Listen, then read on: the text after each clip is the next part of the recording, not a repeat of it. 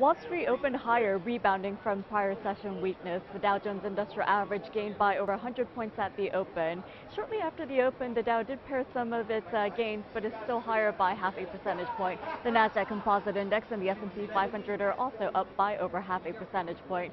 Now, some better than expected U.S. economic data releases uh, helped market sentiment, but also better than expected uh, sentiment from overseas markets also helped boost U.S. equity markets.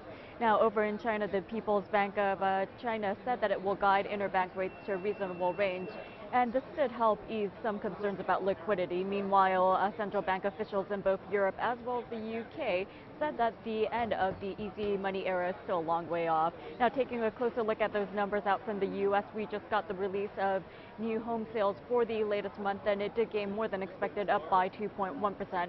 And the Conference Board's Consumer Confidence Index for the latest month soared above expectations to 81.4. Now, that reading is for the month of June.